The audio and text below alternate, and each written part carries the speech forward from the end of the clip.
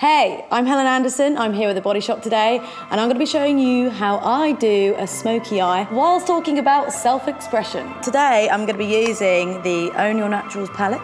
Start the lighter shade, and then you, you work your way down. I'm going to go with this guy here, give it a little tap, and then on we go. Self-expression is just putting on the outside what's on the inside without the fear of judgment. I'm going to go with a slightly dark shade. I'm just going to put it in the crease, working across you just need to surround yourself with people that are supportive of you being yourself. We're going smoky, so we're going dark. So this lovely brown shade here, angle it and bring it up to almost kind of create like a point.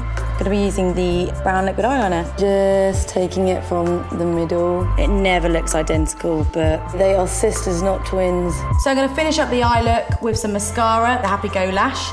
It is 99% ingredients of natural origin. My dreams for women in terms of self expression are wear the looks they want to wear, wear the makeup they want to wear, and just be themselves. This is my final smoky eye look.